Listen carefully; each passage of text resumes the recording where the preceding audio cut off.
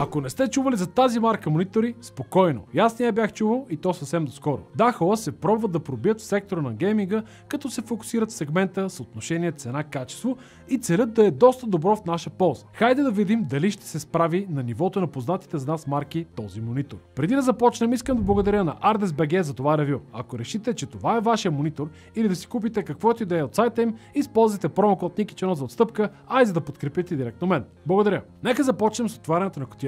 Там ще намерим захранващ адаптер, дисплейпорт кабел, 4 болчета за монтаж на стена, както и 2 болчета за сгубяване на стойката. Отделно имаме гумирано кръче и щипка за по-добър кейбъл менеджмент. Дизайнът на монитора е доста гейминг ориентиран, като имаме светлинни допълнения от двете страни, което ни придава по-агресивна и крещяща гейминг визия. С тях монитор изглежда доста готино, но може и да ви разсее в най-напрегнатите моменти. Разбира се, имаме опция да ги изключим или ако решим, че сме много готини и да ни разсеват, да ги направим да мигат. Гърбът е изчистен, като в по-голямата си част е доста тънък. Също така имаме откоряваща се поставка за слушалки, която е направена супер и е доста удобна. Стойката на монитора е метална и дава усещане за стабилност. За жалост обаче не можем да регулираме височината. Не можем и да го местим настрани. Единствената мобилност е наклона, който е 15 градуса. Извивката на екрана е средно голяма от 1500R и не се притеснявайте, ако не сте използвали извит монитор. Свиква се много бързо. Dahua LM27E230C разполага с 27 Full HD VI дисплей с матово покритие, 165 Hz опреснителна частота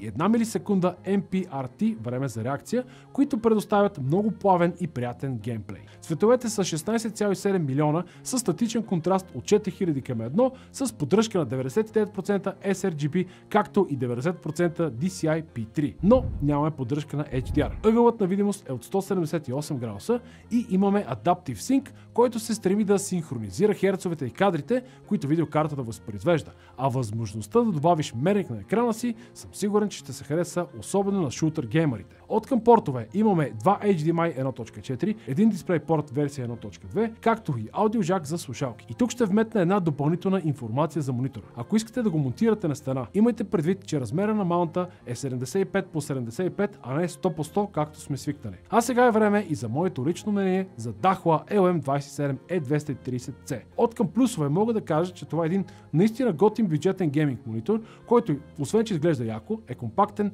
тънък и няма да вземе много място на сетъпа ви. Има добри цветове, 165 Hz, перфектни за гейминг, но имате преди, че може да ги достъпите само с DisplayPort, а с HDMI до 120 Hz. Бързо време за реакция, любимия параметр, особено на FPS геймерите. Това, че е тънък и извит, също много ми допадна от към дизайн гледна точка, защото е супер допълнение за гейминг сетъп, без да заема много място. Друг плюс е допълнителната гаранция. Тъй като обичайно мониторите идват с 2 години гаранция, тук имаме удължена 3 годишна гаранция.